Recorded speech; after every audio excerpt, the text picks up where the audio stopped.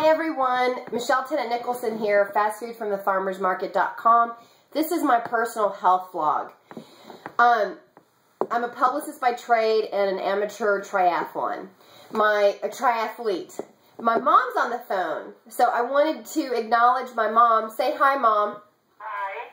So I wanted to acknowledge her because she was the one who said, hey, you know, Dr. Oz is covering this cool program and you've been saying for years that you think you're sensitive to foods. So check this out. It's called The Plan by um, Lyn-Genet Recitas. And here's a uh, I don't know, here's a picture. I'm showing them a picture of you, Mom, with Dad. Yeah. So that's Mom, and that's my dad. Now, Dad, when did he pass away, Mom? He, he passed away in 2004. 2004. So, no, was it 2007? No, 2004. In May, 2004. 2004. Gosh. I favor my father more than my mother, right? Wouldn't you say, Mom? Yeah. Yeah. So the one thing that I learned years ago from having done a blood test, because we knew that I had food sensitivities in the early 2000s. I had a doctor who did that with me. And here's this that program. Okay? So you can see here from that program that, you know, I had green foods, yellow foods, red foods. And I spent a $1,000 for this test. So I'm in this, I was talking to my mom about the differences between blood tests and the plan. And the people at the plan, you know, I've been interacting with them over at Facebook. I did notice that they told some people, hey, blood tests are just different, which, you know, the first few days I was really worried about eating chicken and lamb, which is what's recommended here, or things like apples and pears, which this test said I was highly reactive to. Now, keep in mind that this, when I had this done, um, you know, dad was dying. He was dying of lung cancer, and I was, I knew that low-grade inflammation rates would eventually lead to disease, and given my family history, it would probably lead to cancer. So I was really worried about this, even though I'm, you know, I'm a triathlete, I'm healthy, I'm just overweight, you know, right? My blood level, my blood is fine. I just was like, I, I wanted to thrive with my health. So when I started the plan a week ago, I thought, there is no way I'm going to be okay on apples and pears. I am. I'm like completely fine on apples and pears. Now, there's other things. So this, this blood panel is completely different. You know, and I did an elimination rotation diet with this particular doctor in 2004 for six months, zero weight loss. My, um, my skin looked nice, but I didn't have, I didn't have any of the results that I really wanted. Um, so mom and I were talking this morning, right? What did you ask me, mom? You asked me about, um, bread, right? So she asked me about bread, and then I read her this story about Dan.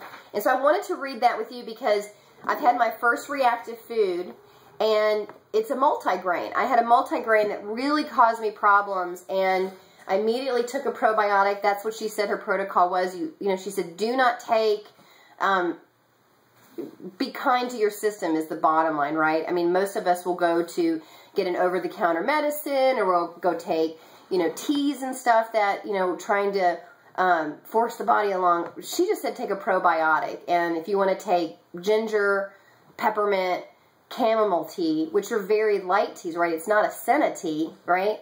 Um, here's what the multigrain myth is. So this is on page 113 of the plan, which is mind-blowing, okay? Because for years I've had multigrains.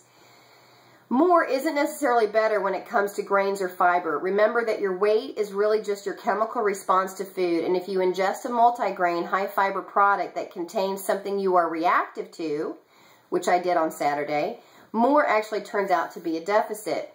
One of my all-time classic stories from the plan was Dan, age 53, who had digestive problems and had been told for years by his doctor that he was gluten intolerant. For all my gluten intolerant friends out there, check, check this out. He had been living off gluten-free products, but the weight was piling on and his digestion was getting worse. This didn't surprise me at all since many of these products are made with ingredients that are reactive. Tapioca is highly inflammatory with a high glycemic index. Potato starch is the most inflammatory component of potatoes, and xanthan gum, a thickening agent, is often included as well. It is high in purines, purines, which affect uric acid levels, which in turn can aggravate pain and inflammation. We know that when foods trigger inflammatory diseases, an uptick on the scale always follows. Dan's body responded fantastically well his first week on the plan, so he and I decided to test him on rye.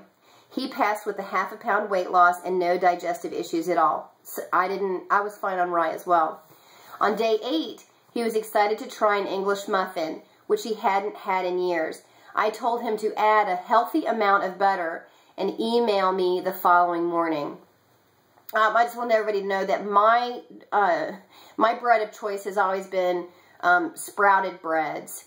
You know, uh, there's a few sprouted breads. Ezekiel bread and Aldeverdo. Al Alvardo. I don't know if I'm saying it right, but you all know that one, the California sprouted uh, protein bread. You get it in the freezer section. I have eaten, I've eaten those breads in moderation, like one slice every few, you know, like hardly any of it. But I've been, I have been ingesting them for years, right, Mom? Don't you and I have always had the Ezekiel bread? Pardon me? The Ezekiel bread. Don't you eat the Ezekiel bread too? Yeah, I do, but I have just about Ezekiel bread. I'm not 100% sure. I have just to test this more. Right, we got to test it. So, uh, and I'm going to test Ezekiel bread too to see how it does for me.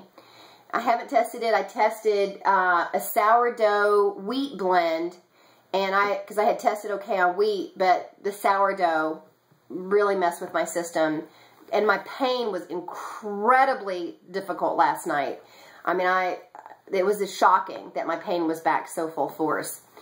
The next day, Dan was up 1.4 pounds. It didn't make sense with his profile, so I told him what kind of English muffin he'd had, and he told me it was high fiber. I then asked him to please look at the ingredient list and tell me if oat bran was there. And sure enough, that was the source of extra fiber. Oats are 85% reactive. Suddenly, Dan's weight gain made sense. Dan repeated the test on bread after taking a rest day, this time eating a plain white English muffin. This time he lost 0.4 pounds.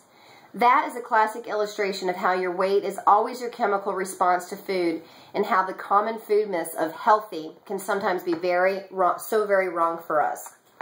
So there you go. So do blood test or the plan, what doctors say, whatever. I think the bottom line is is that find a program that allows you to find out what's good or what your body wants. You know, at this point in 2004, I was told that I had a leaky gut syndrome by a doctor, and it was verified, and I was put on, probably because I was traveling abroad or I'm a kayaker, and I was put on an intense protocol of uh, antibiotics first to get rid of some of the parasites that I had from overseas travel. And then for six months, I did an elimination diet, and then had you know like aloe vera juice. I did. She did put me on probiotics and so forth, but um, wow, right? The blood test is not the same as what your digestive system wants. It's pretty shocking. So, you know, we lost dad. Dad's in our hearts and memories, right? But he would be so excited to find that something's working. Because one of the things that he said his last year was, you know, he went to the YMCA every single morning and worked out and he ate right and he did everything right, you know tons of supplements, did everything that the expert said. He was a nurse. So he did everything he knew to do for his health. Um, and then cancer still consumed him. And I know, you know, I know that, you know, one day we all have to go, but, um, but I'm excited to actually to find some answers that really bewildered our family for years. So, so far so good. Let me know how you're doing, and I wanted to share that with you. So, hold on, Mom. I'm going to turn the camera off. Oh, Owen coffee with cream and real sugar. Yes, that's what I'm having. Can you believe it?